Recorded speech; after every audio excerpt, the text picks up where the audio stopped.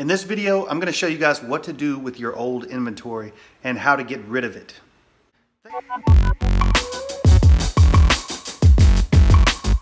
Thanks for tuning in for another video, guys. My name is Phil. If this is your first time on my channel and you wanna learn how to work from home and be your own boss by reselling on eBay, then make sure you subscribe to this channel for all sorts of tips, tricks on how you can do so.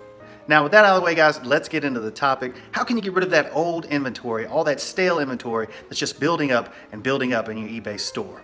Well, what I personally do is what I like to call the squeeze. Now, personally, guys, when I pick up inventory, I pick up quite a bit. I usually pick up uh, either by the pound or, you know, by the ton, uh, you know, by the truckload, by the box full. I mean, uh, you know, I, I, I, do shop, you know, around town. I do hit thrift shops.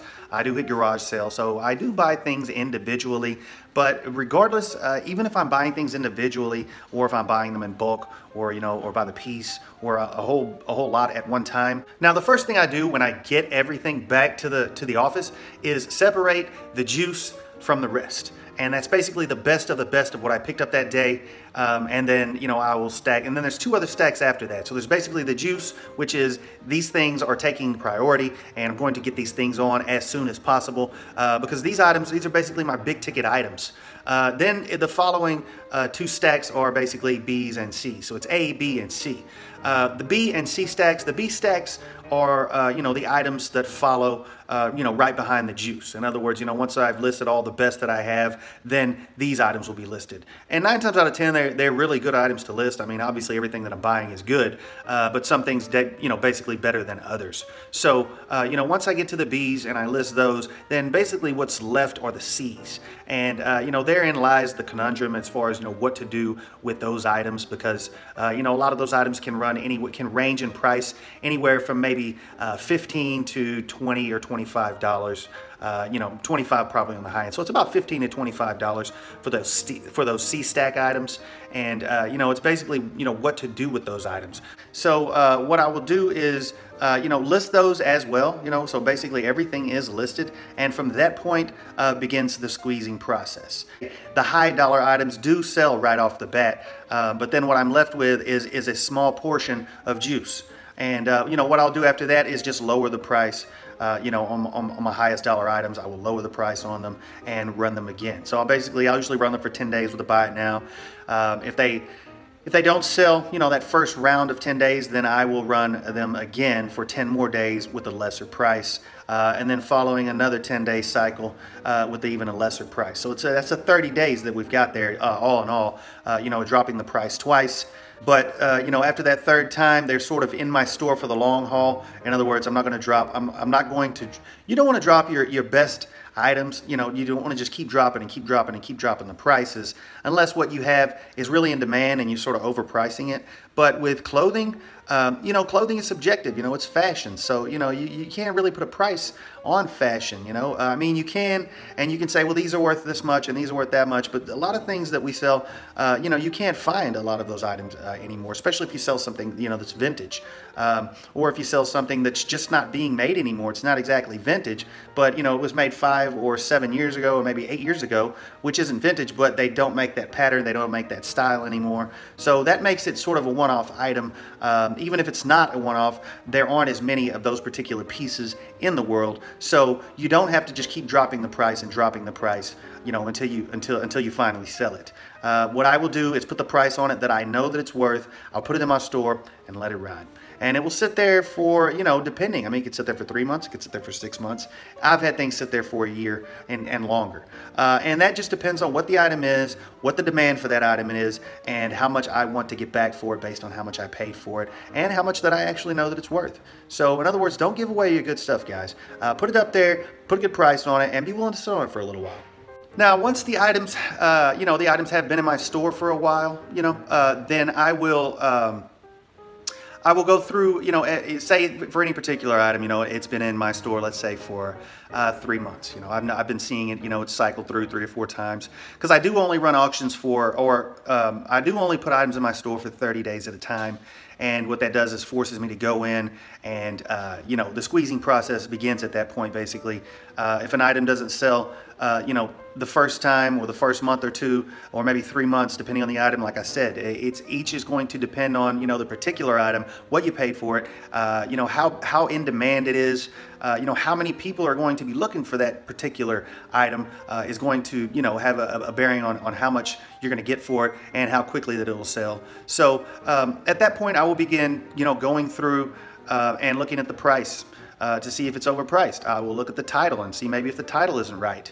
Uh, I'll go through the description and find out if maybe, uh, you know, maybe there's something really wrong with that shirt or that jacket or those pants or those shoes. And I just, you know, I've forgotten that, that it was, that, you know, it really had an issue and uh, maybe I'm overpricing it. You know, I mean, you never know. So, uh, you know, that's what I will do. I will basically go through each item, check the titles, check the price, make sure maybe it's in the wrong category. Even I mean, it could be anything. Maybe it's listed as a men's, it's actually a women's. I mean, but basically, uh, you know, needless to say, I'm going to try and find out why that item is not selling, correct it, fix it, and you know get it back up on the auction block or back you know back in the store and hopefully with a new title with a lesser price with a better description with better pictures maybe then maybe it will sell you know at that point. So uh, if not then it's on through the, on to the next process. So after uh, you know going in and revising them and uh, you know going through uh, you know going through this a couple of times with any particular item so in other words if it comes through and I see that uh, you know it didn't sell, uh, so I changed the title or I changed whatever. Um, and it runs, you know, for another month or two or three and or four, whatever, um, and it still doesn't sell. Then uh, what I will do is, I mean, it basically gets to the point to where you know either you're willing to hold on to it, you're willing to you just sit and wait for that price, or you know, uh, you know, space is money in this game. So if you have something for so long, eventually it's going to start costing you. So uh, what I will do when I really want to move the inventory, or if I have no choice because I have more inventory coming in than going out, uh, so what I will do is, uh, you know, run it, run it on sale. You know, mark it down. Now, if they don't sell as a result of the sale that I've ran, um, uh, then what I will do is is run them back through as an auction. Um, you know, and I will I'll just do a, a, dirt cheap price. I mean, basically as low as I can afford to. You know, depending you know on the particular item, but you know there comes a point, like I said, when you you know you have to recoup your funds. You got to get that out of there. You got to make room for something else, especially if it's just sitting there you know, no, no, one wants it apparently. So you know, you need to move it out. And uh, a lot of times, what that's going to what that's going to mean is if it's not going anywhere and you've had it for long enough, then it's overpriced.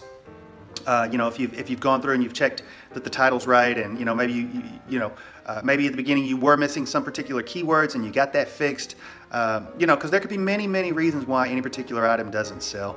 Um, and what you can even do is if it's not selling, uh, you know, and you really just you know you, you know that it's worth uh, more than, than, than you're asking or you know you have it really underpriced is take it out and just rerun and, and relist the whole thing you know uh, maybe you know it could be any particular any tiny thing could be wrong. It could be causing the it could be causing you know the ebay algorithms to overlook your item for some reason. I've, I've had that happen. Uh, so i mean you can do that. And like i said uh, what you can do is just you know worst case scenario put it up for auction put a low price on it and you can guarantee it in one week it's going to be gone. So, uh, and that's another good thing about that running auctions is that in seven days, that item's gone. And you can even run it as low as, you know, as, as three days. You know, so when you run auctions, you run them low and you run a lot of them, uh, you know, that adds up real quick. And, it's also a good way to move out old inventory. All right, guys, another really, really good thing to do uh, that I do with my items when I can't sell them, and I've had them for a really long time, and I know that they do have value. Uh, even some of those C items, you know, have A, Bs, and Cs. Even a lot of the C items, this is how they actually end up uh, is, is they will I will put them in the store, you know, and maybe they won't sell. Maybe I'm only asking 15 or or 19 dollars or even like 13 or 15 bucks, you know, uh, which I hate to go too much lower than that. Uh, in all honesty, I mean, I will even go down to I won't go down to single digit numbers. In other words, I'm not going to nine dollars and under. Uh, I'll keep, try to keep it always over ten dollars. Uh, once it gets down about 10 $10 and below, it's really not worth my time, even if it's been in there for a really long time. But uh, you can do that. I mean, you, you can make money that way. Uh, you know, it's, there's nothing to say that you can't sell something for $10 and make money because, you know, if you've had it long enough and, I mean, if you've got something free or you paid a quarter for it and you sell it for $10, I mean, you made money. Uh, it's not a lot of money. You still have to store it and ship it and list it and all that. So, you know, $10, even if you're, you know, after you pay your fees and everything, you're still looking at like maybe seven or eight bucks uh, you know, plus what you paid for it. I mean, even if you make $5 profit, that's still money. So, because if you sell $10, I mean, if you sell 10 items and you're only making $5 profit, that's 50 bucks.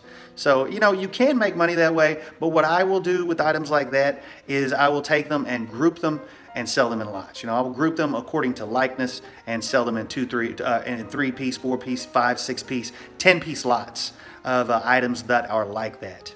In that particular case, like I said, just group them by size. You can group them by style. You can group them by women's, uh, you know, men's. I mean, uh, anything that you want, basically, as long as they all have that in common, that's good enough to put them together as a lot and to sell them that way. But obviously, the lots that sell the best, uh, you know, as far as clothing, are lots that are all in the same size.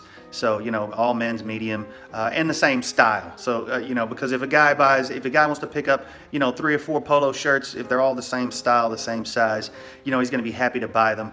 And, uh, you know, you can get rid of three shirts, you know, all in one hit and, uh, you know, clear out that inventory quickly and also put some coin in your pocket. So that's a really good way to get rid of things is to group them in lots, uh, you know, of, according, of each according to likeness. All right, all right, guys. Next step in the process of getting rid of this old inventory. Now, say you've been through all these processes and all these uh, squeeze tactics, and you've still got this stuff. It still is not going anywhere. You know, it's the hanger on. You know, uh, so what you what, what I would do or what I do, you know, uh, I don't do it as often as I used to, uh, but what I would do is I would have a yard sale. Uh, and at the yard sale, I will sell all the clothes. I mean, I'll throw them out there and sell them for a dollar a piece. I'll sell them for two dollars a piece. I'll sell them for 50 cents a piece. I mean, it just depends on what it is.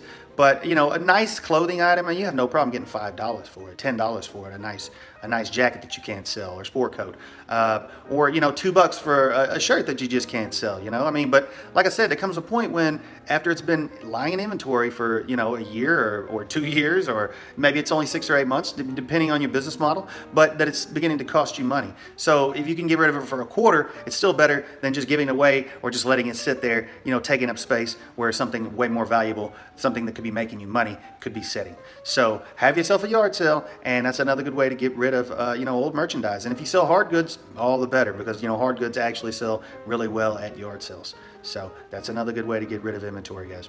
All right, guys. Uh, and if all else fails, if you have run it through all of these processes and it still doesn't sell, you are left with one option to salvage that particular item and to not lose money on it, and that is the Goodwill or the Salvation Army or your local charity. Yes, take it down, donate it to the local Goodwill, and so begins the cycle of life again. All right, guys, if you like this video, make sure you give it a thumbs up if it's helped you out. And if you haven't already, make sure you subscribe to this channel if you want to learn more tips and tricks on how to make money on eBay and be your own boss. Thanks for tuning in for another video, guys. And until my next one, you guys be good. Get out there and crush it on eBay.